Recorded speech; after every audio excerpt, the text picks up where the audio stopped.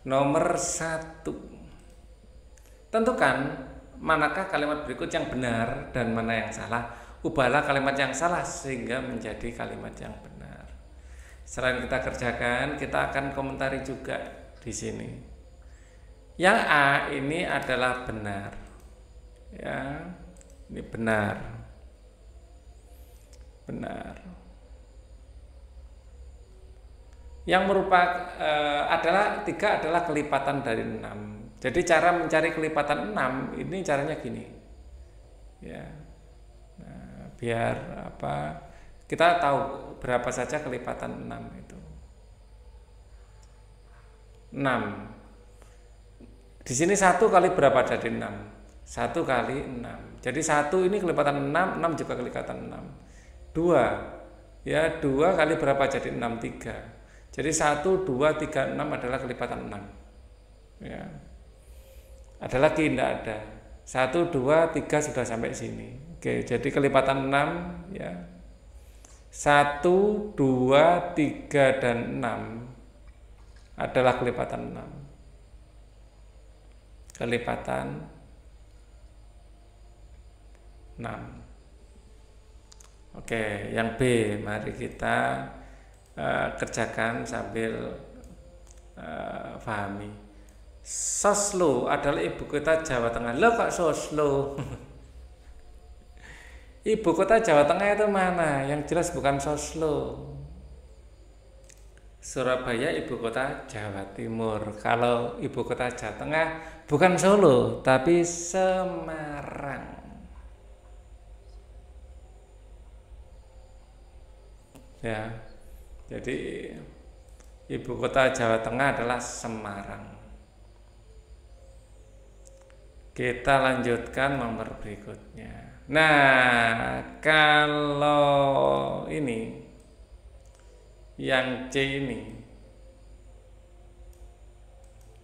ya, cara ini kita besarkan aja. Cara kita mengetahui pertidaksamaan ini benar apa salah kita kalikan saja. 5 dikalikan 3 adalah 15. 4 kali 4 adalah 16. Nah, ini benar. Sudah. Jadi 15 lebih kecil dari 16 gitu aja caranya ya. Jadi kayak dikalikan menyilang gitu ya. Nah, seperti itu. Oke nah di sini. Ini yang di ini kita menyebutnya sebagai 4 tambah 2 dikali 4 tambah 8 sama dengan 4 kali 8 nah di sini. Ini kita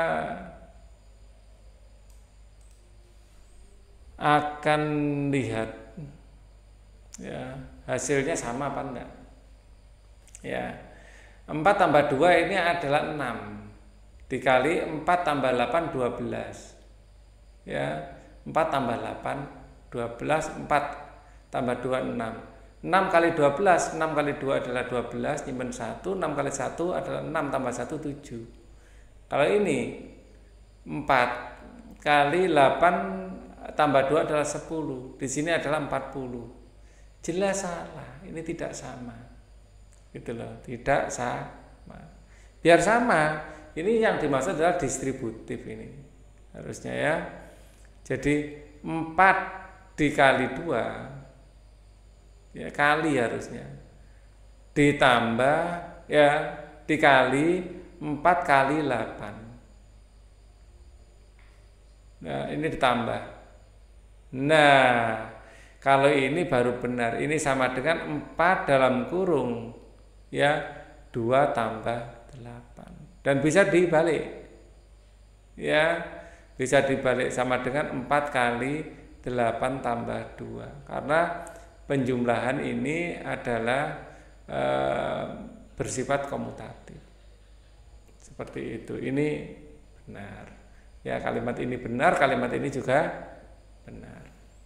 Ya, jadi harusnya adalah lebih enak dilihatnya kalau kita balik ya 4 kali 8 ditambah 4 dikali 2 gini lebih enak dilihatnya ya mau ditulis ini boleh ditulis yang atasnya tidak apa-apa 7 bukan 27 bukan bilangan prima iya memang bukan Ya. Kenapa bukan? Ya ini sudah benar ya. Kenapa bukan? Karena 7 bisa dibagi. Ya. Ini sudah benar. 27. Nah, faktornya berapa? Kalau bilangan prima nggak mungkin bisa dibagi. 27 ya satu jelas dengan 27 ya. Kalau hanya ini aja ya bilangan prima tapi ada tiga dan 9 di sini. 3 kali 9 27 jadi jelas ada faktor lain selain bilangan itu sendiri dan satu. Kalau hanya bilangan itu sendiri dan satu baru prima ada tiga dan 9 ini jelas bukan prima ini namanya bilangan komposit. Komposit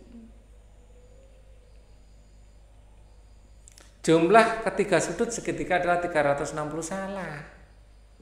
Yang benar adalah e, eh, 180. Ini yang benar. Jadi apabila ada segitiga, sembarang segitiga, ini adalah A di sini B di sini C, ya. Jadi sudut A ditambah sudut B ditambah sudut C ini adalah 180 derajat. Ini sudah merupakan ketetapan ya aksioma. Ya. Walaupun segitiganya seperti ini atau segitiganya misalnya seperti ini sama tetap. A di sini B di sini C. Kalau dijumlah ya ini segitiganya mau dibikin seperti ini ya sama saja. Ya. Jumlah ketiga sudutnya pasti 180 seperti itu